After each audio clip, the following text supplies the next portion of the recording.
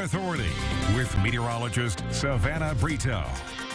Good morning, everyone, and happy Tuesday. Temperatures are in the 50s, just in one place up in Crawfordsville. They're sitting at 58 degrees, 60s every single other place, 63 in Terre Haute, 60 in Paris, 64 in Mattoon, 61 in Robinson, and 67 down in Vincennes.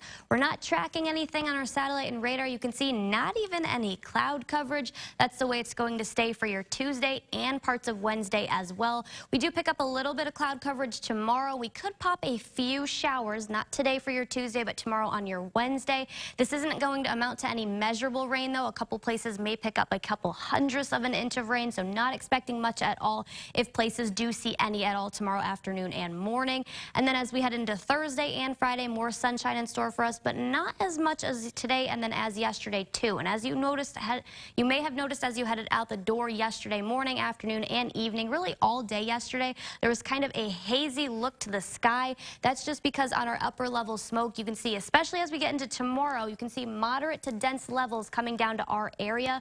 We do have a northerly flow, so all those Canadian wildfires, we are seeing that smoke come down because we have that northerly flow from our area. So yesterday, today, parts of tomorrow as well, going to see that hazy look to the sky, but we'll see some sunshine too all across the valley. We cleared things up. We were abnormally dry a couple weeks ago, but due to all that rain we saw, not experiencing any of that, but we are experiencing out west of here anyways. They do also have wildfires out west and exceptional, anywhere from a moderate in that tan color to an exceptional in that dark red color, that maroon color to an exceptional drought. So they need some rain, not expecting much in that area though. We're not lacking moisture, we're actually lacking heat. So far in 2021, we've only had five days in the 90s and four of those were actually in June, the month of June. We've only had one in the month of, uh, month of July so far.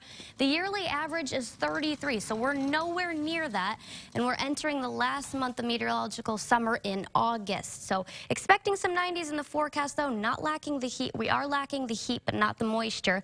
We don't have any seven-day precipitation, any precip on that until we get to about Friday. Again, maybe a couple showers Wednesday, Friday. Better chances look to hold off until Sunday, so definitely not lacking the moisture just because we did see all that rain the past last several days. Here's your forecast, though, for today. It's going to be hot, mostly sunny with a high of 87 degrees.